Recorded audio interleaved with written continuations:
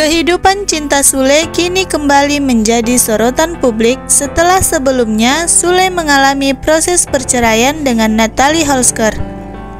Kali ini, hatinya dibuka untuk seorang wanita bernama Santika Fauzia. Dan bukti-bukti kedekatan mereka tersebar luas di media sosial, menimbulkan berbagai spekulasi dan perbincangan di kalangan penggemar dan warganet.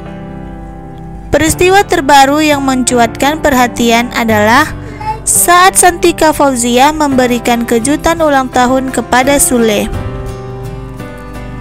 Dalam momen tersebut, Santika tidak hanya mencium tangan Sule, melainkan juga memberikan pelukan hangat hingga melakukan aksi cipika-cipiki.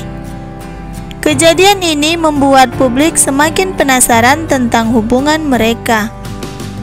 Dalam menghadapi tudingan dan pernat dalam menghadapi tudingan dan pertanyaan publik terkait kedekatannya dengan Santika Fauzia, Sule akhirnya memberikan klarifikasi.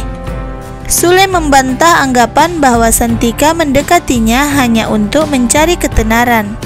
Menurut Sule, Santika bukanlah sosok yang ingin terkenal, dan bahkan telah menolak undangan untuk tampil di acara televisi meskipun banyak yang mengundangnya.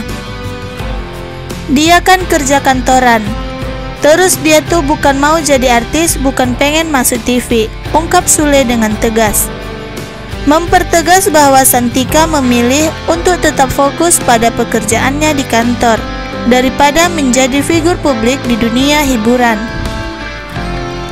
Lebih lanjut, Sule mengungkapkan alasan dibalik perasaannya terhadap Santika Fauzia.